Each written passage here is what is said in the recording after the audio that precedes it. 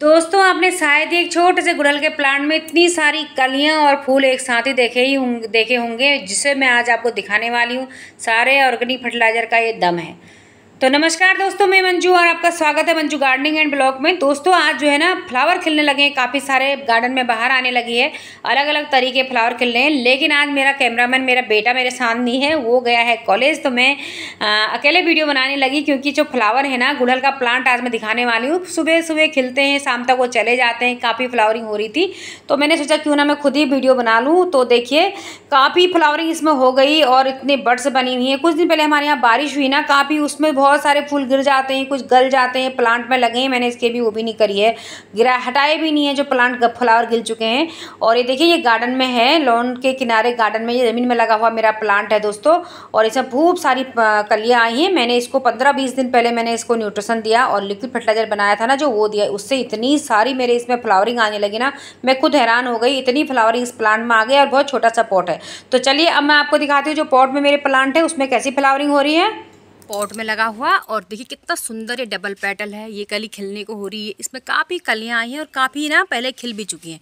काफ़ी फ्लावरिंग हो रही है और इधर दिखाओ तो आज तो ये सुर्ख लाल, इतना सुंदर सुर्ख लाल इसमें बना हुआ है। और यहाँ देखें पीछे भी कलियाँ ही कलियाँ बनी हुई हैं। देखें ये भी एक पॉट में मेरा लगा हुआ है, कितना सुंदर। दोस्तों, सिंगल पेटल तो आप लोगों ने देखा ही होगा, ये डबल पेटल है। और ये ना देसी ही है डबल पेटल में।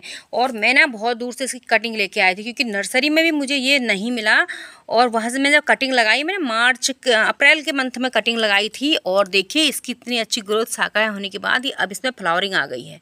तो गुड़हल तो मेरे पास काफ़ी है, सिंगल पेटल में है। काफ़ी सारी कलियाँ बनती हैं, ये छोटा वाला पूना वेराइटी का है। इसमें बहुत ज़्यादा फ्लावरिंग होती है, खूब शाखाएँ भी इसकी बनती हैं, बहुत ज़्यादा फ्लावरिंग इसमें होती है। यहाँ पर देखिए, बलसम मेहंदी का प्लांट है ना, देखो, ये डबल पेटल में है, गुलाब से कम नहीं है, इसके फ्लावर कितने सुंदर हो रहे हैं।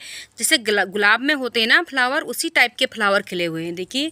तो ये थी बहुत सुंदर लग रहा है, ये वाला भी बलसम का। तो यहाँ पर दिखाऊँ तो यह है ब्लडिंग हार्ट और ये रेड कलर का इतना सुंदर ये खिल रहा है, ये कई कलर में खिलते हैं, मेरे पास ये रेड कलर का है।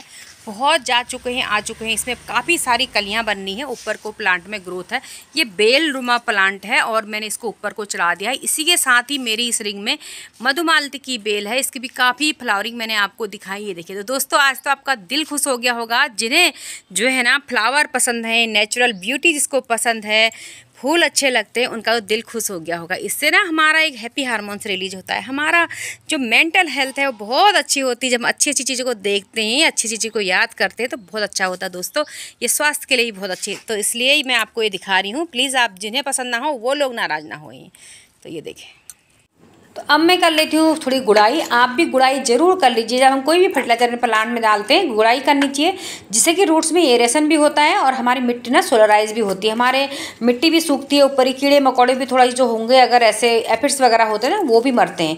तो इसलिए प्लांट की पूरी अच्छी तरीके से गुड़ाई कर लीजिए। गुड़ाई करने के बाद मैं इसको कुछ देर छोड़ देती हूँ। मैं बाद में दो चार घंटे छोड़ने के बाद आज धूप भी आई है अच्छी खासी। उसके बाद मैं इसमें फर्टिलाइज़र डालूँगी। उसके बाद मैं आपको फर्टिलाइज़र आपके साथ शेयर करूँगी। तो इस तरीके से करना और फुल सनलाइट में हमारे प्लांट होना चाहिए। तो दोस्तों, चलिए कौन सा फर्टिलाइज़र मैं बना रही हूँ क्या क्या चीज़ें मैं इसमें मिला रही हूँ, बिल्कुल ऑर्गेनिक चीज़ें हैं। जब हमारे पास इतनी अच्छी अच्छी ऑर्गेनिक चीज़ें पड़ी हैं, दोस्तों तो क्यों हम महँगे महँगे खाद केमिकल के पीछे जाएँ, अपनी मिट्टी को भी ख़राब करते हैं, मिट्टी की उपजाऊ क्षमता को भी ख़राब करते हैं। तो चलिए कैसे इसको बनाना है, वो मैं बताती हूँ। तो एक ले लेनी है, हमें एक बाल्टी ले लेनी है। इस बाल्टी में, ये देखिए, ये मैंने ले रखा है बर्मी कम्पोस्ट इतना मैं बर्मी कम्पोस्ट डाल ली हूँ, आधा किलो से कमी होगा, ज़्यादा नहीं होगा, आधा किलो से। ये देखिए, आज मेरे हाथ, खुद एक हाथ से काम करने में सब चीज़ें गिर जा रही है, क्योंकि एक हाथ से कैमरा पकड़ना पड़ रहा है। तो ये देखें तो इस तरीके से इसमें मैंने डाल दिया है वर्मी कंपोस्ट। अब मैंने अगली चीज़ क्या लेके ये देखिए, ये है सीवीड ये सीवीड ग्रेनुअल है, दाने फॉर्म है सीवीड्स का। ये बहुत ज़्यादा से माइक्रो न्यूट्रेंट्स होते हैं। ये हमारे पौधों के छोटे छोटे जो पोषक तत्व होते हैं, देखिए हम N P K nitrogen potassium phosphorus तो डालते ही हैं। उसके अलावा भी छोटी छोटी चीज़ें, बहुत सारी चीज़ें हमारे प्लांट के लिए चाहिए हो जाती हैं, जो कि इसमें सारे पोषक तत्व विद्यमान होते हैं। ये टोटली ऑर्गेनिक है तो इसको हम डाल देते हैं। अगली चीज़ मैं इसमें डालने वाली हूँ, इसको जो और पावरफुल बनाएगा और कीड़े मकोड़ों से भी हमारे प्लांट को बचाएगा। निमोटोट की प्रॉब्लम से बचाएगा। जाएगा। ये है नीम की खली। तो ये भी पचास ग्राम मैंने इसमें ले रखी है। पचास ग्राम के करीब मैंने सीविड्स ले लिया था और उतना मैंने बर्मी कंपोस्ट। मात्रा का कोई बात नहीं, आगे पीछे कम ज़्यादा कोई भी होता है, ऑर्गेनिक चीज़ें, कोई फ़र्क नहीं पड़ता। ये दो केले के छिलके हैं, ये मैंने महीन करके कट कर रखे इनको भी हम इसमें मिला देने वाले हैं। इस तरीके से डालने हैं। अब इसमें सबसे ज़रूरी चीज़ क्या है? इम्पोर्टेंट चीज़ क्या है? कितनी चीज़ें मिला दी हमने? चार चीज़ें हमने इसमें मिला दी है।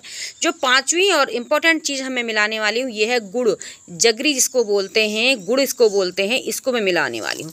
बहुत ही बेनिफिशियल है हमारे प्लांट के लिए। अब तो विंटर सीज़न आने वाला है। विंटर में तो बहुत ही ज़बरदस्त।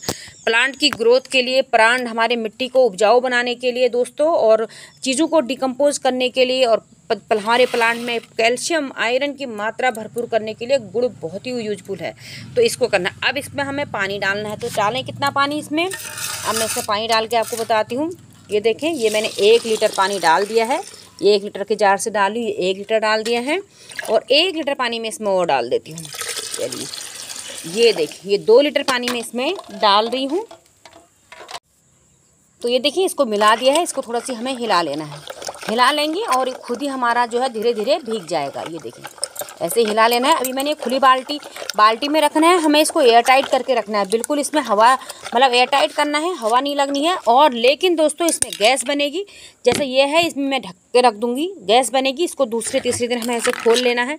और करना, ये मैं अगर आप बिल्कुल एयर टाइट करोगे तो ज़रूर आपको दूसरे दिन, तीसरे दिन, चौथे दिन, रोज़ लगातार पाँच छः दिन इसकी गैस निकालनी होगी। उसके बाद बाद बाद में गैस नहीं बनती है। नहीं तो कभी कभी जो अगर बोतल में आप बनाते हो जैसे कि मैं आपको दिखाती हूँ, मैंने इस बोतल में बना रखा है। तो ये देखें ये इतना टाइट हो जाता है कि कहीं फटने के भी चांस आते हैं। तो पंद्रह दिन आपको मिनिमम इस चीज़ को रखना है, हमको ढक के रखना है। मैं आज इसको खुले में बना रही हूँ और इसमें देखें, अभी भी इसमें गैस बननी होगी। ये देखिए, आवाज़ आई ना? तो सी ऐसे आवाज़ आती है, वो भी सारा ऊपर ऊपर को आता है, गिरने का भी डर रहता है। लेकिन अब ये डिकम्पोज हो गई टोटली तो अब ये उतना नहीं उठेगा, ये थोड़ी सी इतनी इसमें गैस बनी हुई है। ठीक है, ये देखें। ये देखिए। बस ये इतना ही है। तो उसी तरीके से आपको इसको बिल्कुल बंद कर देना अगर आप मेरी तरफ़ बोतल में ही बनाना चाहेंगे तो ये ये तो आज मैंने इसमें बना के रखा है। इस तरीके से बनाइए, किसी डिब्बे में ढक्कन लगा दीजिए, दूसरे दिन खोल लीजिए। तो आज मैंने ये बना रखा है। इसको हमें रखना है, पंद्रह दिन तक रखना है। पंद्रह दिन के बाद हम इसको इस्तेमाल करेंगे। तो पंद्रह दिन पहले मैंने ये बनाया हुआ था। अभी अभी पूरा एक सा हो गया, नहीं तो इसका ऊपर नीचे अलग अलग कलर हो रखा था ना। सारा चीज़ नीचे बैठी हुई थी और लिक्विड जो बन गया था, ऊपर था। खोलने की वजह से हवा, जो एयर प्रेशर हुआ ना, वो बाहर निकला तो सब मिक्स हो गया है। उसमें।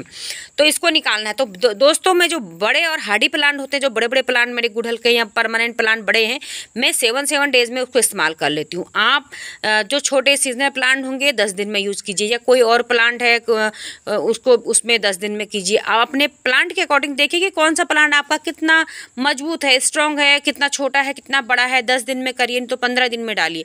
मैं तो अपने प्लांट में सेवन डेज़ में अप्लाई कर देती हूँ इसको। और अप्लाई कैसे करना है वो मैं आपके साथ बताती हूँ आपको। तो ये मैंने छन्नी लगा ली है, क्योंकि अभी ये हिल चुका है। अगर ये ना हिलता होता तो ऊपर ही ऊपर से निकाल लेती। तो मैं इसमें निकालती हूँ। देखे मैं किसको कितना निकालूँगी इसमें। ये देखिए कैसे ये केले का बिल्कुल गल चुका है इतने दिन में। बिल्कुल ये देखें, बिल्कुल ये गल गया है। इसका सारा न्यूट्रिशन जो है निकल चुका है। तो ये देखें इतना, ये पचास एम एल, पचास एम एल में निकालने वाली हूँ। पचास एम एल के करीब ही मैं इसको निकालने वाली हूँ। थोड़ा सी ज़्यादा आगे तो उसको कम कर लूँगी। और ये मैंने ले रखा है दो लीटर का पानी। दो लीटर पानी में ये पचास एम में मिलाने वाली हूँ। तो ये देखिए, दो लीटर पानी में मैंने ये पचास एम मिला दिया है। देखिए, इस तरीके से इसका कलर हो गया है। बहुत गाढ़ा, बहुत पतला हमें इस चीज़ को नहीं बनाना होता। है ये देखिए, और थोड़ा कम ज़्यादा भी हो गया तो कोई दिक्कत नहीं होती है। तीन लीटर पानी में पचास एम मिला सकते हो। पचास की जगह आप चालीस भी हो जाता तो वो भी कोई दिक्कत नहीं है। तो ये पचास एम मैंने दो लीटर पानी में पचास एम यानी कि एक लीटर पानी में पच्चीस एम के करीब मैंने इसको मिला दिया है। तो इससे ना ये हमारे प्लांट को बहुत जल्दी मिलता है। इसमें जो भी न्यूट्रिशन घुल गए ना, वो हमारे प्लांट को इतनी जल्दी मिलते हैं कि प्लांट में बहुत जल्दी ग्रोथ भी होती है और फ्लावरिंग भी बहुत जल्दी आने लगती है। और इस लिक्विड को हम फ्लावरिंग प्लांट में वेजिटेबल्स प्लांट में, किसी में भी डाल सकते हो फ्रूट वाले प्लांट में भी डाल सकते हो। आजकल सब्ज़ियाँ लगा रहे हैं ना, उसके लिए भी आप ये फर्टिलाइज़र बना के डाल सकते हो। तो चलिए मैं इसको डालती हूँ। दोस्तों, चलिए ये प्लांट है, गुड़हल का पॉट वाला प्लांट है। मैं इसमें आपको डाल के दिखा देती हूँ। ये देखिए, इस तरीके से हम इसमें डाल देंगे इतना। और इसी तरीके से इस प्लांट में भी मैं डाल दूँगी। मैंने अभी जो मिट्टी में प्लांट है ना मेरे लॉन पर, उसमें मैंने कल परसों ही सारी चीज़ें डाल रखी हैं न्यूट्रिशन डाल रखा है पूरा। कटाई छटाई करने के बाद तो उसमें अभी मैं नहीं डालूँगी। दोस्तों, ये देखें इस तरीके से मैं अपने सारे प्लांटों में दे सकती हूँ। किसी भी फ्लावरिंग प्लांट में दे सकती हूँ। आज का टॉपिक मैंने गुड़हल रखा है। मैं इसलिए स्पेशली गुड़हल बोल रही हूँ। अदरवाइज़, ये हमारे सारे प्लांट के लिए है। चाहे आप एक्जोरा में डालिए, गुलाब में डालिए, किसी चीज़ में भी डालिए। और आपको अगर वीडियो अच्छी लगी होगी फर्टिलाइज़र का तरीका अच्छा लगा होगा तो प्लीज़ वीडियो को लाइक कीजिए, चैनल को सब्सक्राइब कीजिए। और मिलती हूँ आगे अगली वीडियो में। तब तक ले bye bye happy gardening take care